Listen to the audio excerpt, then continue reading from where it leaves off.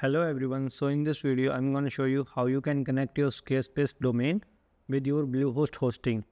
For example, if you purchase any hosting from Bluehost and you want to create a WordPress website on your Bluehost, make sure your DNS pointing to ns1.bluehost.com. To update the name servers in Squarespace, you just need to go on squarespace.com and click on login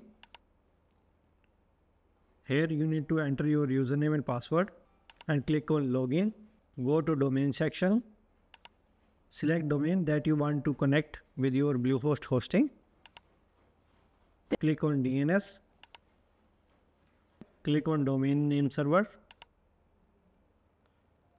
Now click on use custom name servers. And here you need to enter these name servers from Bluehost just copy and paste here and click on save it will automatically connect your Squarespace domain with Bluehost. Keep in mind, it takes around 12 hours to 24 hours to point a domain to new hosting. I hope you guys found this tutorial helpful. Make sure you like this video and subscribe to our channel. Thanks for watching. See you in next videos.